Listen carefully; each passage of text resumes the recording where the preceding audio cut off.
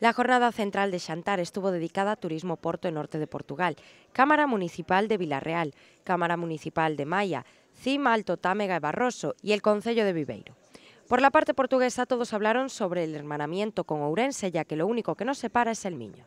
Además de las bondades gastronómicas, también se sacaron a relucir las paisajísticas, termales, arquitectónicas y lo que diferencia cada uno de los territorios.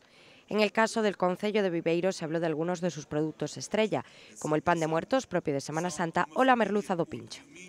Todo esto se puede degustar en los diferentes stands que estarán en Espourense hasta el domingo 5 de noviembre.